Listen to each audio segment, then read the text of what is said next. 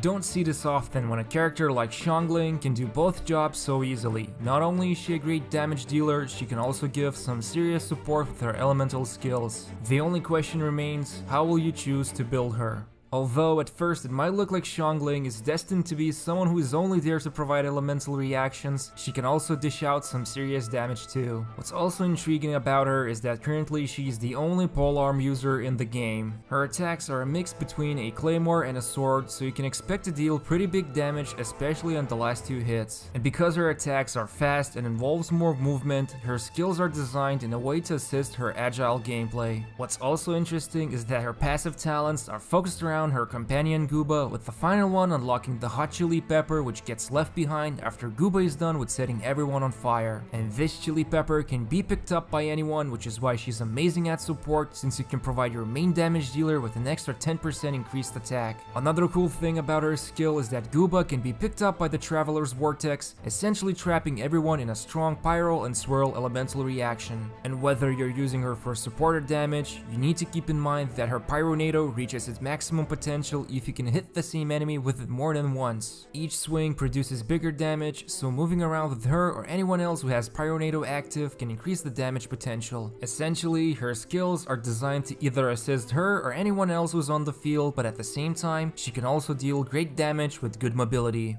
When it comes to weapons, there's a number of options you should consider. If you're only interested in making her someone who's only there to support, then Halberd is an excellent option since the attack it provides will make her skills stronger. But if you're ready to make a bigger investment, you can also get the prototype Grudge from the blacksmith. It will give a large energy recharge bonus, which means you'll be able to activate your Pyronado more often. Although it's not recommended to refine the weapon since its only purpose is to create more bursts. Now, if you're interested in making her the ultimate damage dealer, you've got a few options. White Tassel and the same Halberd are great early investments for her since they both do what basically a weapon needs to do and that's to provide more damage. But what you're really going to be after is Crescent Pike. It's another weapon you can get from the blacksmith and it comes with some insane benefits. First of all, it provides the physical damage bonus, which is already an important thing to have for anyone who specializes in basic attacks, but then the true potential of the weapon shows up in the form of an extra attack. The only condition to start dealing these extra attacks is to be able to pick up an elemental particle or orb, which can be easily done by using your elemental skill or damaging your enemies. What's even crazier, because the attack you produce is independent, it can also be a critical hit. And just to remind you, this is a weapon you can get as a free-to-play player without the gacha and even get more copies from the weekly bosses. Moving over to artifacts, there's two sets you can keep your eye on when building her. The first one is the most universal and it's the Gladiators set. Both set bonuses work really well for her, but if you get unlucky with the main stats, you can swap in any artifact 2 set bonus that provides extra damage. And if you focus purely on just increasing her attack, then it will benefit both her support and main damage dealer build. Although you will be missing out on elemental reaction damage if you do decide to neglect elemental mastery, but at least her skills will scale pretty well with her attack. Now if you want to make her become even more specialized with supporting your team, you can go for the Crimson Witch of the Flames set.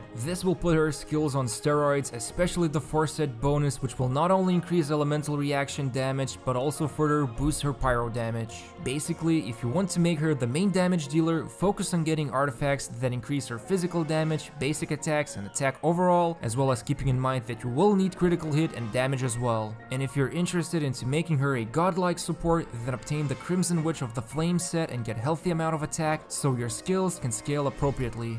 When you're building a team, Xiangling is going to be an easy choice for many setups. For anyone who owns Diluc or the newly upcoming Klee, the activated elemental resonance of 25% increased attack will give a serious damage boost for the whole team. And even if you can just get one constellation activated, she can start reducing enemy pyro resistance with her elemental skill, which only makes your main pyro damage dealers even stronger. Not to mention on her last constellation she gives additional 15% pyro boost to damage. So while it's clear she's very easy to build together with any other Pyro characters, she also works great with any other elements too. Any Electro teammate like Fischl or Lisa will give a nice starter to activate Overload reaction, or you can also plug in a Cryo user to go for the Melt reaction. But if you're going to be using her as your main damage dealer, then anyone who has high elemental mastery can capitalize on any of her skills so she can create Pyro status effect on enemies, and then characters like Fischl can take advantage and create powerful Overload reactions. A good rule of thumb is to always remember that if your character specializes in physical attacks, it's better to leave reactions for someone else with higher elemental mastery.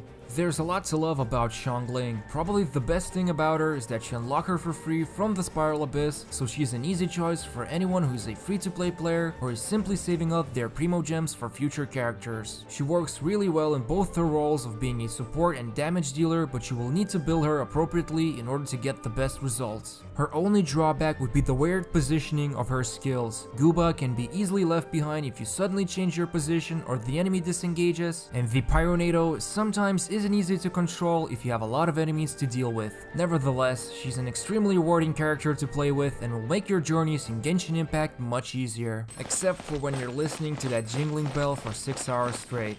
Enjoyed the video? Make sure to subscribe to our channel, hit the bell icon and gently press the like button. Don't forget to check out our other Genshin Impact guides which also includes a tier list that you can also visit on our website gachagamer.com. Thank you for watching us.